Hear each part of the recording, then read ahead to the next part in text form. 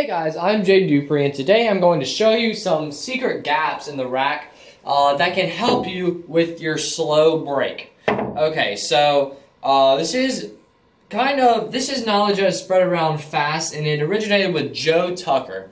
Uh, so go and look up Joe Tucker's uh, billiards training. Uh, he is a great guy. Uh, but he discovered all of this after hours of just breaking and breaking and breaking in his basement. so nine ball rack. We're talking about nine ball here, and we're talking about a slow break. So a slow break, uh, we're just barely getting the wing ball in the corner, and we're trying to stop the one ball over the side pocket. And usually, whatever ball's here, if we're breaking from this side, whatever ball's here, and this nine will make a dead straight lineup into this pocket. So it can be really, really easy to run out. Uh, so what we're going to do, we're going to make sure the one ball is on the spot. If you don't know the, what that means, it means the intersection between this second diamond and this second diamond. That is the spot. And then we're going to make sure everything, if we're breaking from this side where the cue ball is on, making sure this L pattern is all touching each other or frozen. So the one and then the three diagonal balls like that. One, three diagonal balls. Uh, so we are making sure all of those are touching and also a tiny gap between this ball and this ball will help this ball go in. The reason why the all of these need to be frozen and a gap helps here is because without that, the goal is to move this ball out of this ball's way. If this ball's not here, this ball's heading for the pocket every time. But since this ball's here, it's going to drive it high. So this ball will always go high. If it goes high, you know this is not frozen. Something's wrong with the rack. It's not frozen if this ball goes above the pocket. If it goes below, uh, you did your job right. It, just something that you can't control failed. Uh, so if you did, if you if it goes low, you did it right. If it goes high, is something wrong with your rack.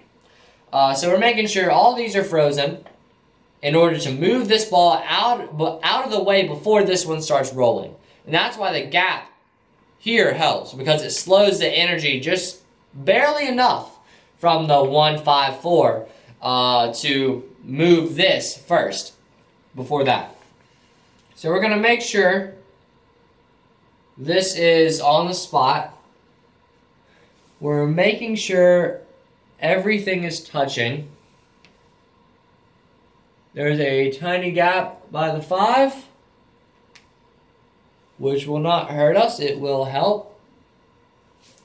Everything is touching. And now let's move to the actual break. Okay, so we're going to re-rack everything. And I'm going to rack it. I decided to show you what a break looks like with a bad rack first. So I'm going to re-rack them and purposely put a gap here. So there is a gap between the 8 and the 9. So this ball is going to go high. I guarantee it.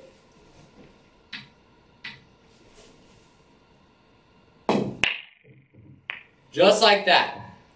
You saw how the 6 ball went above the pocket since that other ball, whatever ball was in uh, below the 6, was not able to get out of the way before that ball since there was a gap in that little energy cap. So now, we're going to really, really hunker down. Make sure everything is frozen. Besides that one little spot where it's okay to have a gap.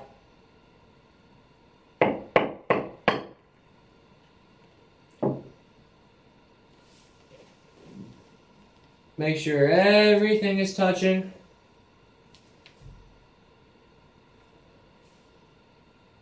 Looks like we're good.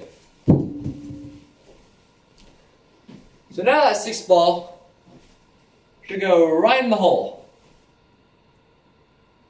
I mean the eight ball. Racked to where the eight ball is there. But you see how the eight ball goes right in the hole. And it'll do that every time. And you'll have this awesome layout. The seven passes, everything passes. The hardest part is just the one to the two. Uh, but everything passes. It's just it's just simple to get a ball in on the break. And you'll see this strategy all the time on bar tables. On bar tables, it's almost impossible to miss that ball if you have everything set up correctly. It technically is impossible on any table, but bar tables is much, much easier. Nine foot tables, uh, it, it's still like a 90% thing, but sometimes just the slightest little miscalculation can throw it off since the pocket is further away from the rack. But this rack looks pretty good. Uh, you can either stop, I, I choose to put a little backspin on my slow break. Uh, and our 7-9 didn't line up directly, but our 7 passes into this corner and also goes into the side. Uh, so everything with that is perfectly fine. Uh, if we get from the 1 to the 2 in this rack, we're out. Normally, I like to stop the one ball by the side pocket and put a little draw on my cue ball, bring it out to about here. Uh, but that one I just hit with a little bit of stun, and I hit to the left of the rack. Uh, now, it's important that you hit to the left of the rack, or whatever direction this is, or you hit it 100% square in the face. Uh, because otherwise, it's like you're breaking from this side in which the other L track, the one going that way, the one ball and then the three balls going diagonal that way, would need would need to be in line. Uh, because if you're just cutting the break, if you're going to aim for the right side of the one ball, it's the same thing as if you're breaking over here. Uh, so that can be tough uh, to judge, but always just try to cut it to the left just slightly if you're breaking from the left side of the table. Uh, cut it to the right slightly if you're cut, breaking from the right side of the table, uh, just to make sure that uh, your cue ball is accurate. Okay, so there's one way to rack the balls that I really don't like doing, uh, but it can be helpful. So rack them in one, two, three, four, five, six, seven, eight, nine. So just in numerical order. Obviously with the 9 in the middle, but the rest of them are just in numerical order.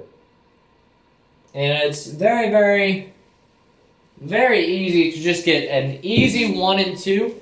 I didn't check the rack very thoroughly, uh, but we're not really focused on making the ball right now. I just want to show you the pattern that these balls lay out in right now. It's always going to look like this.